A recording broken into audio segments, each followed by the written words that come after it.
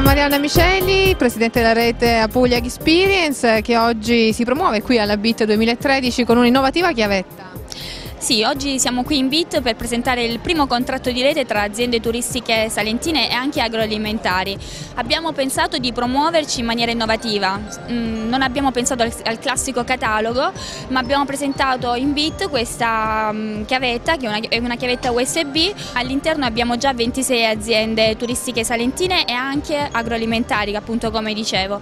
E, ehm, stiamo, cercando di, stiamo cercando di promuoverci attraverso delle partnership con delle compagnie aeree ehm, affinché si possa promuovere un pacchetto vacanza che includa sia l'ospitality in albergo ma anche una serie di servizi annessi alla, alla vacanza oltre anche il volo grazie a queste partnership con delle compagnie aeree.